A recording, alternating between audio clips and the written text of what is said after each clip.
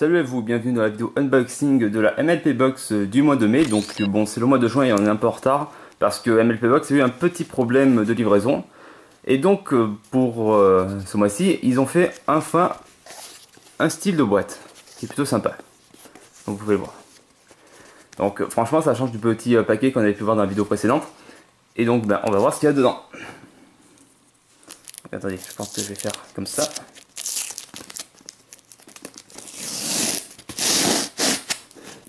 Voilà. Je n'aurai pas trop abîmé la boîte, non Ça va.